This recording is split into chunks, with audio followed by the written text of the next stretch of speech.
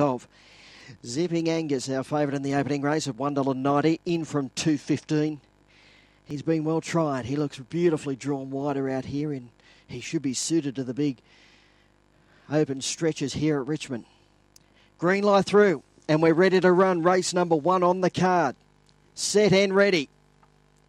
Racing, zipping Angus moderately away. Debzoni Excite from the inside began brilliantly to lead. Chaser Cash is going down the outside to second, and there's zipping Angus moving up strongly to go to second as Chaser Cash took up the lead. They'll followed by Justified Ego, a long break to goodness. Lunatic Lovertic at the rear, coming off the back. Chaser Cash in the lead. Zipping Angus is winding up. He's going after Chaser Cash. They corner. Zipping Angus moved up, hit the lead, edging away. Zipping Angus got the money over Chaser Cash. A long break to Justified Ego, third ahead of Debzoni Excite.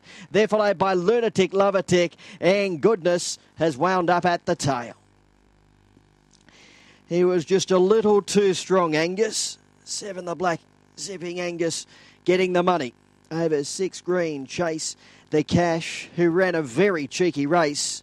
She'll be winning her maiden very, very soon, judging on that performance two Justified Ego, winding up third and fourth, number one, Debzoni Excite.